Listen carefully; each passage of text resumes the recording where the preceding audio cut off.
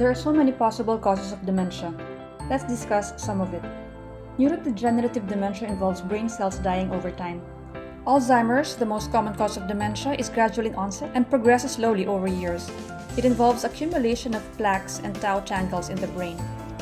In Lewy body dementia, you can have hallucinations, stiffness, and acting out of dreams. Parkinson's disease causes trembling, slowness in gait, and dementia as it progresses. Frontotemporal dementia causes disinhibition with outbursts of crying and laughing. Vascular diseases include vascular dementia from strokes and cerebral amyloid angiopathy. Viral, bacterial, and fungal infections and prion disease can cause dementia. Examples include HIV, neurosyphilis, meningitis, and CJD. Measles is associated with encephalitis such as SSPE and ADEM, both of which can be fatal. In inflammatory and autoimmune disease, the body's infection fighting system attacks and damages nerve cells and their connection in the brain and spinal cord. This occurs in multiple sclerosis. Problems involving thyroid, liver, renal, and adrenal disease cause metabolic dementia.